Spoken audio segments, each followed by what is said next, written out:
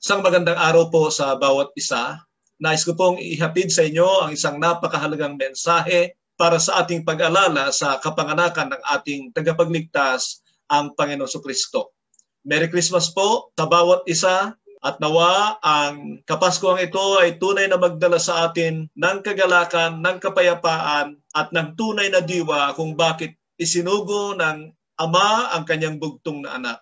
Ang mensaheng ito ay nais ko pong pasimulan sa pamamagitan ng pagbabasa sa aklat ng Hebreo 4.1 hanggang 5. Ganito po ang sabi, Therefore, since the promise of entering his rest still stands, let us be careful that none of you be found to have fallen short of it. For if you also have heard the good news proclaimed to us, just as they did, but the message they heard was no value to them, because they did not share the faith of those who obeyed. Now we who have believed enter that rest, just as God has said, So I declare an oath on my anger, they shall never enter my rest, and yet his works have been finished since the creation of the world. For somewhere he has spoken about the seventh day in these words On the seventh day, God rested from all his works. And again, in the passage above, he says, they shall never enter my rest. Ang Hebrews chapter 4 po, mga kapatid, ay bahagi ng isang sulat para sa mga Hudyo na kung saan sila ay dumaranas ng napakaraming pagsubok sa kanilang pananampalataya na kung titingnan po natin sa ating kapanahunan ay malamang mas mahirap po ang kanila sapagkat diretsahan po ang pag-uusig sa kanila. Ito pong atin ay pangkalahatan Subalit ang mga Kristiyanong Hudyo ay kailangan na nilang magtago dahil sa pagusig na kanilang dinaranas. Ang sumulat ay nagbigay sa kanila ng paalala na merong kapahingahan na ginawa ang Panginoon Kristo para sa kanila. At ito ang tunay na kapahingahan na dapat mapasa kanila. Kaya kung titingnan po natin ang sinulat na ito ay nangangako siya na kung maunawaan nila ang tungkol sa kapahingahang ito ay isang bagay na napakaganda para sa kanila. Parang ganito po yan.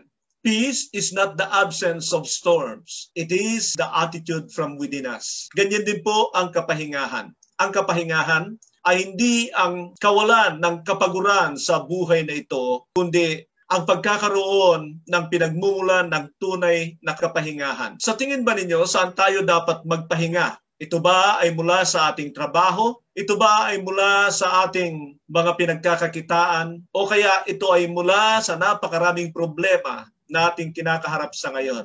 O meron pang iba? Nang anyayahan ng Panginoon ang mga tao sa Kanya, sinabi niya sa Mateo 11:28, 29, Lumapit kayo sa akin, kayong lahat na nangapapagal at nabibigat ang lupa at bibigyan ko kayo ng kapahingahan pasanin ninyo ang aking pamatok at mag-aral kayo sa akin sapagat ang aking pamatok ay magaan dalhin.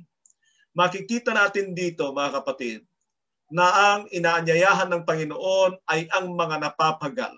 Ngunit saan sila napapagal? Ang alam ko po ay sa kanilang sariling mga kagagawan sa kanilang buhay o kaya ay sa kasalanan. At sino ang nakakapagbigay ng kapahingahan? Ang Panginoon Kristo. Sa ngayon po ay inaalala natin ang kapanganakan ng ating Panginoon Kristo. Siya na nag-aanyaya at nangangako ng kapahingahan para sa bawat isa. Siya ay naparito minsan at kung alalahanin natin, ito ay mabuting balita para sa atin. Kaya natin inaalala ang kanyang kapanganakan ay sapagat alam natin na mayroong napakagandang mensahe na dala ang kanyang pagparito sa lupa. Baka po nakakalimot na tayo, kailangan paalalahanan tayo kailangan may balik sa ating mga daisipan kung ano ang tunay na layunin ng pagparito ng Panginoon. Basahin ko po ang sinabi ng Lucas 2:8-14. And there were shepherds living out in the fields nearby, keeping watch over the flocks at night. An angel of the Lord appeared to them, and the glory of the Lord shone around them, and they were terrified. But the angel said to them, Do not be afraid. I bring you good news that will cause great joy for all the people. Today in the town of David, the Savior has been born to you. He is the Messiah, the Lord. This will be a sign to you. You will find a baby wrapped in clothes and lying in a manger. Suddenly, a great company of the heavenly host appeared with the angel praising God and saying, Glory to God in the highest heavens, and on earth peace to those whom His favors. So makikita natin nang ipahayag ang kapanganakan ng Panginoon Kristo sa mga pastol. Ang pahayag ng anghel ay ang pagkawala dapat ng takot nila. Ang mga Israelita sa panahon na yon ay punong-puno ng pagkatakot sa buhay. Sila ay patuloy na sinisikil ng kanilang mga mananakop. Punong-puno sila ng mga alalahanin at sila ay naghihintay ng pag-asa. At narito dumating ang pag-asa, ang mabuting balita na para sa lahat ng tao. Ito ay mabuting balita galing sa langit at ito ay dapat tanggapin ng may kagalakan ng mga tao. Ano ang mabuting balitang ito? Ang sabi po, Today in the town of David, a Savior has been born to you. He is the Messiah, the Lord. Ang mabuting balitang ito ay tungkol sa pangako na magmumula sa lahi ni David ang tagapagligtas. Siya ay ipinanganak sa panahon na yan. Siya ang Mesias, siya ang Panginoon. Ang dala ng kagalakang ito ay ang kapanganakan ng tagapagligtas. Yan po ang ipinahayag ng mga anghel sa mga pastol na nasa kalagitnaan ng bukirin sa mga panahon na yon. At kung papansin natin, maging ang mga anghel na ito ay nagkakasiyahan, nagkakatuwaan sa pagpapahayag nila sa kapanganakan ng tagapagligtas. Yan po ang pagpapahayag sa kapanganakan ng ating Panginoon Kristo.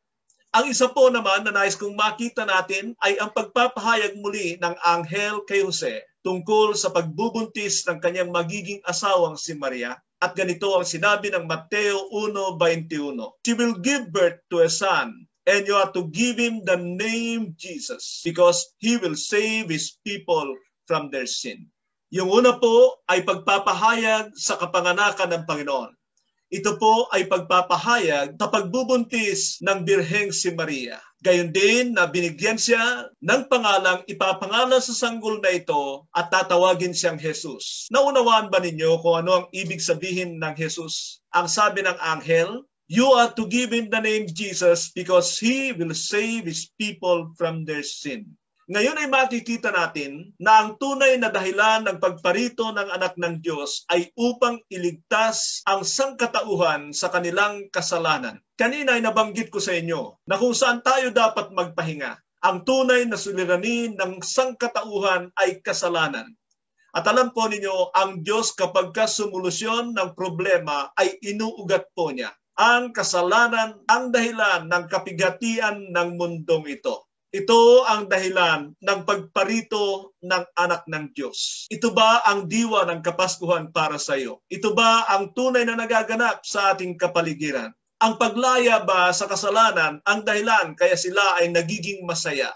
Hindi kaya ay dahil sa mga material na bagay, hindi kaya ay dahil sa mga bagay-bagay na kanilang tinatanggap o na ating tinatanggap sa ganitong kapanahunan nang ipahayag ang pangalan ng Panginoon Kristo ay hindi magagalak ang tao dahil magkakaroon siya ng isang bagong kotse, isang bagong bahay, isang bagong kagamitan, kasangkapan, kundi dahil sa siya ay mapapalaya sa kanyang kasalanan. Kapag ang pagdiriwang natin ay tungkol sa material na bagay at nakakaligtaan natin ang tunay na dahilan ng pagparito ng anak ng Diyos ang iligtas tayo sa ating mga kasalanan ay nagiging walang kabuluhan ang dahilan ng pagparito ng anak ng Diyos. Naranasan mo na ba ang kapangyarihan ito na ikaw ay lumaya sa iyong kasalanan? Saan ba nagagalak ang mundong ito sa kapanahunang ito sa kanyang pag-alala sa kapanganakan ng Panginoon? Hindi ba muli ay napilipit na ni Satanas ang mensahe ng Kapaskuhan? Hindi ba muli ang kapanganakan ng Panginoon Kristo ay tila iba na ang dahilan? Kung papansinin natin ang kagalakan ng mundong ito ay dahil sa mga material na bagay. Sa halip na mahango sa kasalanan ay lalong nalulublob sa kasalanan ng marami pag dumarating ang pag-alala sa kapanganakan ng Panginoon Kristo. Ang kapanganakan ng Panginoon ay sobra nang naging commercial, naging mapagkakitaan ng marami at ang kagalakan ay nakabase na sa kanilang mga tinatanggap sa ganitong kapanahunan.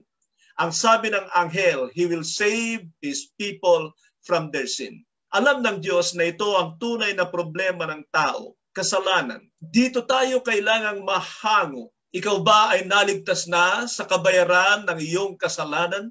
Malamang sa iyong pagkilala sa Panginoon Kristo, ikaw ay pinatawad niya. Pero nais kong sabihin sa iyo, na hindi hanggang doon lamang. Sapagkat ang nais ng Panginoon na hindi lamang ikaw ay patawarin sa lahat ng naging kasalanan mo sa nakaraan, bagkus ay magkaroon ka ng kapangyarihan para lumaya sa iyong pagkakasala. Sinabi ng 1.8.36, So if the Son sets you free, you will be free indeed. Ikaw ba ay malaya na sa pagkakasala? Sa kapanahonang ito ay marami po ay hanggang doon lamang sa kapatawaran ng kanilang mga kasalanan ang kanilang pinakahangad. Kapag kaganito ang ating pananaw tungkol sa dahilan ng pagparito ng anak ng Diyos, ay baka tayo magulat pagdating ng araw sa ngayon sa sinabi ng Mateo 7.21 hanggang 23. Not anyone who says to me, Lord, Lord, will enter the kingdom of heaven but he who does the will of my Father. Many will say to me on that day, Lord, Lord, have we not prophesied in your name, and in your name we drive out demons. We did many miracles, but I will tell them plainly, away from me, you evil doers. So makikita natin diyan ang mga tao sa pagdating ng araw ng paghukom na sila'y kumikilala sa pagiging Panginoon ng Panginoon Kristo.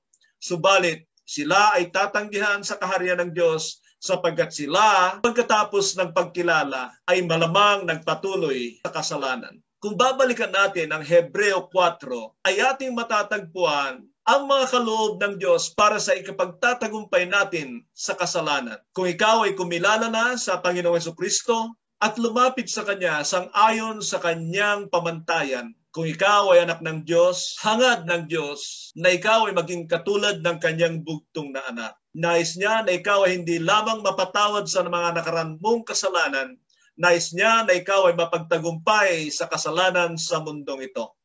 Ganito ang sabi ng Hebreo 4:14 hanggang 16. Therefore, since we have a great high priest who have ascended into heaven, Jesus the Son of God, let us hold firmly to the faith we profess. For we do not have a high priest who is unable to sympathize with our weakness, but we have one who has been tempted in every way, just as we are. Yet he did not sin. Let us then approach the throne of grace with confidence, so that we may receive mercy and find grace to help us in time of our need. Ang bahaging ito ng Hebreo, Kabanata 4, ang siyang conclusion ng sumulat nito. Pagkatapos na siya ay nagaanyaya para sa kapahingahan sa tao, ngayon ay sinasabi niya kung paano maganap ito sa buhay ng mga sumasampalataya sa Kanya.